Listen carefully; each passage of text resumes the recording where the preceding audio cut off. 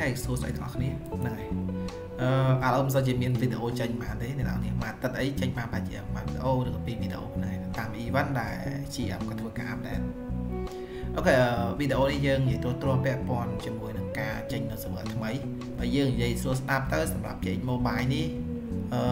មិនដល់រយៈពេល1ឆ្នាំទេគឺ server ថ្មីចេះតែមានការ update ពីមួយ server ទៅមួយ server អឺ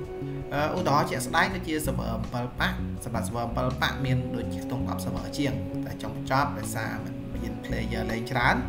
ហើយគេក៏សម្រាប់ធ្វើការបង្រួម server ហ្នឹងឯងមកអឺមកឲ្យតិចវិញអឺអារឿងបង្កើត server នេះអឺមានមតិជាច្រើនដែលគាត់ធ្វើការ recommend ណាហ្នឹងហើយខ្ញុំចូលទៅមើល Facebook ទៅអឺនេះអ្នកនរគ្នាអញ្ចឹងអឺចំពោះ server ថ្មីគេនឹងធ្វើការបើកនេះ server S3 អញ្ចឹងអ្នកនរគ្នាដឹងហើយសម្រាប់10ប៉ាក់គឺមានតែ2 server ទេ S1 S2 ប៉ុន្តែពេលបច្ចុប្បន្ននេះ GM គាត់នឹងក្រងធ្វើការបើកនៅ server S3 មួយទៀតហ្នឹងហើយនៅថ្ងៃទី31ខែ8ឆ្នាំ2024អញ្ចឹងនៅក្នុង server S3 នេះបើយើងមើលទៅវាអត់មានអីប្លែកជាង server S1 ឬ S2 ទេអ្វីដែលសំខាន់ជាងគេខ្ញុំ recommend ទៅ player យើងលេង គឺបើសិនជាការដែលខ្មែរយើងលេងនៅ server ណាច្រើនយើងព្យាយាមនៅ server ហ្នឹងទៅដោយពេលបច្ចុប្បន្ននេះគឺយើងលេងនៅ server i2 ហ្នឹងហើយសម្រាប់7ប៉ាសម្រាប់10ប៉ាណាហ្នឹងហើយអឺខ្ញុំនិយាយបត់ទៅក្រោយតិចចុះអឺនេះ server ថ្មីហ្នឹងហើយអឺចំពោះ server 7ប៉ាវាជាបទពិសោធន៍សម្រាប់គ្នាយើងដោយសារហេតុអីខ្ញុំហ៊ាននិយាយបែបហ្នឹងដោយសារ វាមានច្រើន server មែនទែនតែចង់បញ្ចប់មកគឺមានតែ server S4 ទេហ្នឹងហើយដែលមាន player លេងច្រើនស្របពេលដែលខ្មែរយើងសម្រុកលេង server S4 អញ្ចឹង S4 ក៏មានច្រើនអញ្ចឹងពេលបច្ចុប្បន្ននេះក៏មិនខុសគ្នាដែរមិនថា server 10ប៉ាក់នេះវាចេញដល់ server S1 S2 ហ្នឹងហើយឬក៏ថ្មីថ្មីនេះក្រុងចេញ S3 ឬក៏តថ្ងៃមុខទៀតក្រុងចេញ S4 ឬក៏ S5 ប៉ុន្តែបើសិនជាករណី player យើងជាខ្មែរណាហ្នឹងហើយនៅតែលេងនៅ server ទី2អញ្ចឹងខ្ញុំគិតថា server ទី2គឺជា server មួយដែលមានមនុស្សច្រើនលេងនៅក្នុងហ្នឹងហើយព្រោះវៀតណាមភាគច្រើនគឺតាមយើងដែរទេខ្ញុំមិនហ៊ាននិយាយថាវៀតណាមលេងច្រើនជាងខ្មែរទេតែពេលបច្ចុប្បន្នបើយើងក៏លេងមើលទៅឲ្យតែខ្មែរលេង server ណាច្រើនអញ្ចឹងវៀតណាមហ្នឹងក៏លេងនៅ server នោះដូចគ្នានេះជាអ្វីដែលយើងគួរពិចារណាណាហ្នឹងហើយហើយខ្ញុំក៏ recommend ផងដែរចំពោះអ្នកទាំងអស់គ្នាដែលចង់លេងនៅ server 10ប៉ាក់ហ្នឹងហើយអ្នកទាំងអស់គ្នាអាចពិចារណាសិនណា កុំទាន់មកឬក៏លេងនៅ7ប៉ាក់សិនវាល្អជាងហ្នឹងហើយភាសាពេលបច្ចុប្បន្ននេះដល់10ប៉ាក់មិនសូវជាមានអ្នកលេងមកទេមិនថា server S2 ពេលបច្ចុប្បន្នដែលកំពុងតែមានខ្មែរលេងច្រើននៅឬក៏វៀតណាមត្រឡប់លេង server S2 នេះច្រើនប៉ុន្តែបើសួរទៅវិញថាអូខេតើ server 7ប៉ាក់ជាមួយនឹង server 10ប៉ាក់មួយណាលេងច្រើនជាងអញ្ចឹងភាគច្រើនគឺនៅ server 7ប៉ាក់មានអ្នកលេងច្រើនជាងទោះបីជា server 7ប៉ាក់ហ្នឹងអាចធៀមវាមិនសូវស្អាតពិតមែននៅវាមិនមានសានីពិតមែន ប៉ុន្តែវាធ្វើឲ្យអ្នកដែលគាត់លេងចាស់ចាស់វារំលឹកទៅលើអនុស្សាវរីយ៍ដែលគាត់ធ្លាប់លេងពីមុនមកហ្នឹងហើយអញ្ចឹងអ្វីដែលខ្ញុំ ID កំបិតបានគឺលេង7បាក់វាល្អហើយអឺចំពោះ server ថ្មីដែលក្រុងបើកនេះអានេះខ្ញុំមិនហាមអ្នកនរគ្នាទេព្រោះនេះវាជាអ្វីដែល player មួយមួយតែតែគិតយើងអាចចង់ទៅ7ក៏បានហ្នឹងហើយយើងអាចចង់ទៅ10ប៉ាក់ក៏បានយើងចង់ទៅលេង server ថ្មីក៏បានដែរ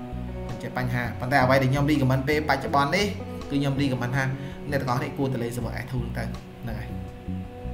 មិនចាំបាច់រត់ទៅ S3 តែក្រុងចេញថ្ងៃ31គឺថ្ងៃចុងខែទេមិនចាំបាច់ក្រុងទេហ្នឹងហើយខ្ញុំគិតថាអ្នកទាំងអស់នេះទៅអាអាថ្មីក៏គ្មានអ្នកលេងច្រើនដែរចង់បញ្ចប់នឹងរត់មករោ server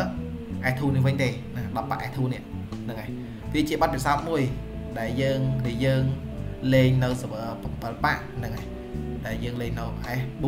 ហ្នឹងហើយហើយវាមានរហូតដល់ S11 12ហ្នឹងហើយចង់បញ្ចប់មកវិញគឺបរួមមកអស់ហើយហ្នឹងហើយរហូតដល់ពេលបច្ចុប្បន្នទោះបីជាបរួមយ៉ាងម៉េចក៏ដោយដែរទុក server S4 បរួមចុងក្រោយគេចង់បញ្ចប់នៅតែ server S4 ខាង7ប៉ាក់ហ្នឹងមានអ្នកលេងច្រើនហ្នឹងហើយអញ្ចឹងវាជាបាត់ពិសោធន៍ហើយអញ្ចឹង10ប៉ាក់មួយនេះទោះបីជា GM ធ្វើការបើកនៅ server S3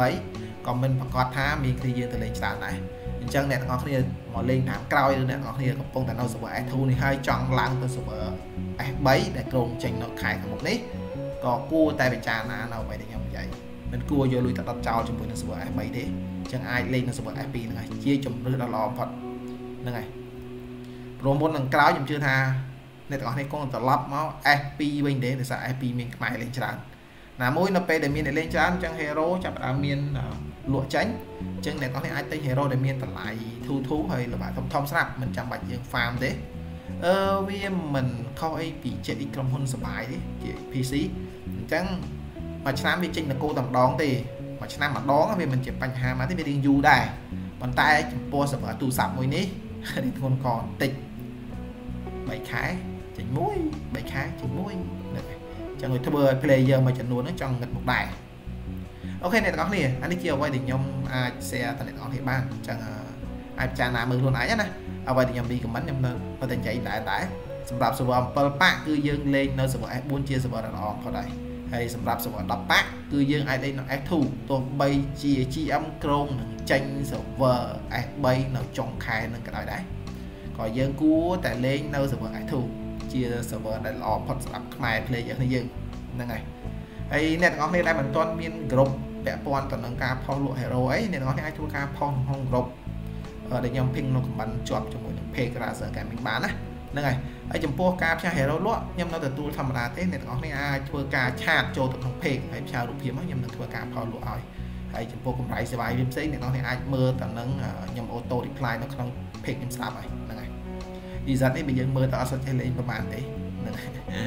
OK អ្នកទាំងអស់គ្នាអញ្ចឹងវីដេអូមានប៉ុណ្ណឹងណាហើយបើសិនជាការដែលខ្ញុំនិយាយខ្វះខាតឬខុសត្រង់កន្លែងណា OK អ្នកទាំងអស់គ្នាអាចធ្វើការ comment ខាងក្រោមវីដេអូខ្ញុំបានណា OK អរគុណ bye bye